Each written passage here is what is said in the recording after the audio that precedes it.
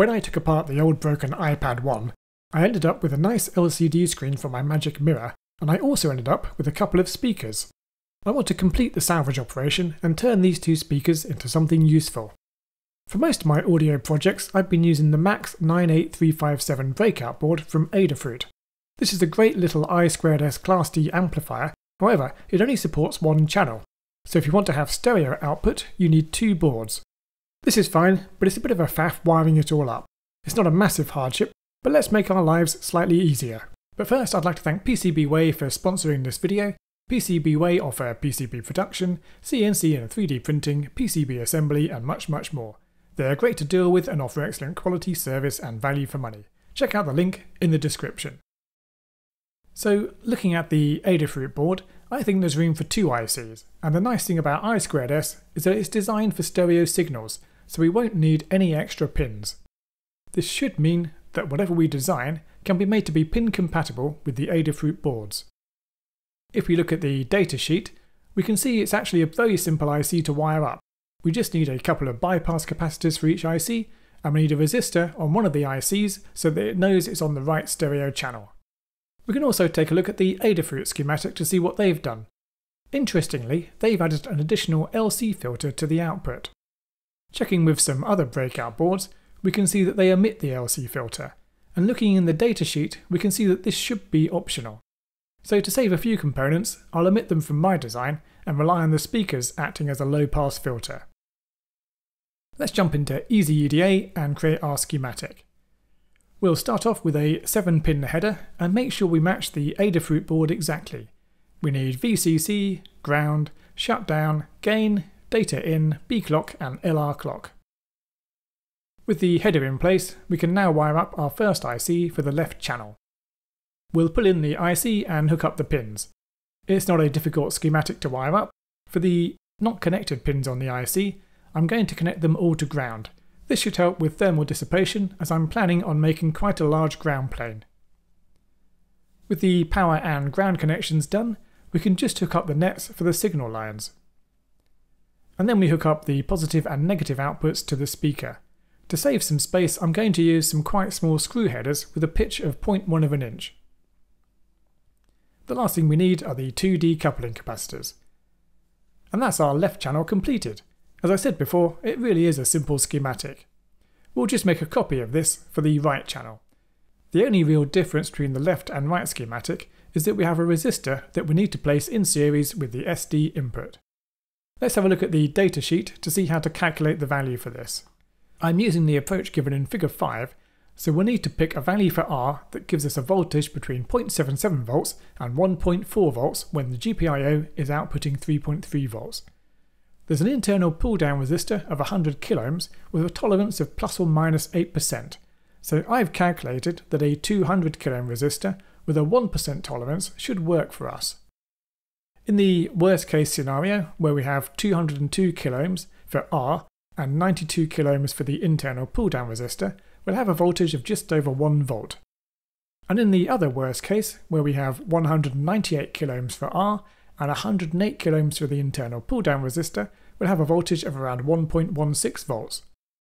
This puts us pretty much in the middle of the voltage range of 0.77 volts to 1.4 volts for right channel mode. We'll add this resistor into the schematic for our right channel and feed the SD signal through it. Now we just need to make sure our output is properly wired up and we're done with the right channel. As I've said before, this is a really nice and simple schematic to wire up. We're now ready to do the PCB layout. I'll start off with a rough layout of where the components should go, placing them in approximately the right locations and orienting them so the pins and the signals are nicely lined up. Since this is a breakout board, labelling is pretty important, so I'll also do that now to make sure the text fits in nicely. I'll neaten up the layout slightly, and once we've got everything in roughly the correct positions, we can add the board outline along with some mounting holes. I'm also going to copy the pin labels to the bottom of the board. This is really handy, and I wish more dev boards would do this. The last thing we'll do before starting the wiring up is label the output pins. Once again, I'll duplicate these on the bottom of the board as well. We're now ready to start wiring things up. I'll turn off the silk layers for this stage as they are getting in the way. I'll start off with the signal wires, we'll do the left channel first, I've turned off the VCC and ground nets to make it slightly easier to see what I'm doing. For the right channel, I don't think there's any choice but to use the bottom of the board for some of the traces. I'm just going to tweak some of the positions to make sure the silkscreen is still readable and adjust some of the wires. For the power, I'm going to use quite thick traces. The amplifiers can draw a fair amount of current when the gain is set to maximum. I'm going to use 40 milliwatts traces, which should be more than sufficient. To get the power to the left channel, I'll use a thick trace on the bottom of the board. I'll also use thick traces for most of the wires to the speaker output. I can't use thick traces all the way as the pins are too close together. We'll add copper pours to the top and bottom of the board for ground and stitch them together with wires. The thermal pads on the ICs are connected to these ground planes, so this will provide a nice route for any heat to escape. After looking at the ground plane on the bottom layer, I've decided to reroute the signal traces for the right channel so we get a better ground plane under the left IC. And with that done, I'll redo the copper areas and we're pretty much done. Just some final tweaks on the silkscreen layer to tidy things up, and we need to add a label to the board with a revision number. So that's it all done. I've exported the Gerber file and we can jump onto PCBWay to get the board ordered. We'll use the PCB instant quote option and upload our Gerber file. Everything should be set up for us. I'm going to get these boards SMT assembled, so we'll complete the SMT assembly section and proceed to our shopping cart. Here we upload the BOM file and the pick and place file, which we can export using the fabrication menu in EasyEDA. PCBWay will now source our components and give us a complete cost for our five boards. One of the nice things with PCBWay is that you have a lot of options when it comes to components. You're not limited to a restricted parts library. They will source the components for you, and you can even supply your own components if you want to. Within a day, we have an email from PCBWay with the costs for our parts. Once we've approved the cost, the order goes into production and we can track the progress online.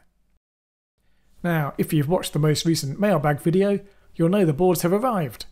They look really good. I've soldered one of them up and we're ready to test. I've got a couple of speakers that I salvaged from my old iPad 1 which I took apart for the Magic Mirror project. I'm also using version 2 of my audio PCB, so this is a double test. Let's hope I've got the wiring set up properly.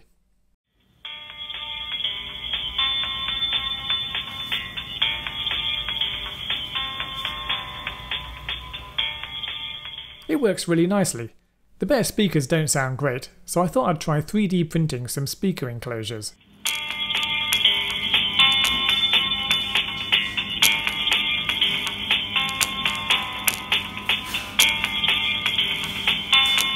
Turns out I don't know anything about designing speakers, and it sounds pretty much the same as before. On the boards there are a couple of things I'd like to improve.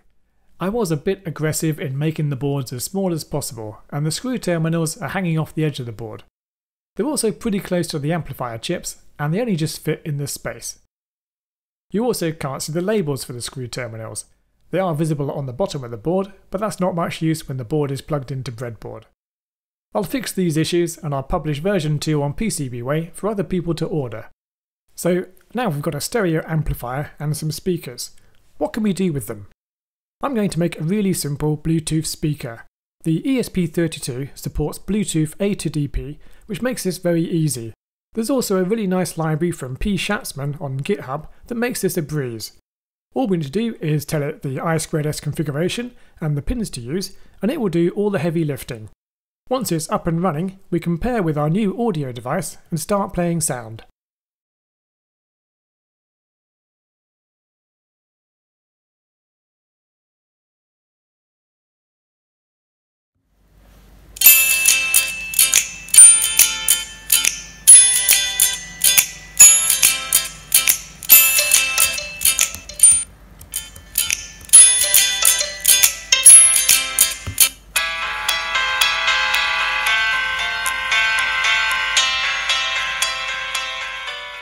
It's pretty cool. I'm really happy with both my speaker salvage and my new audio boards. Hope you enjoyed watching the process. Thanks for watching, and I'll see you in the next video.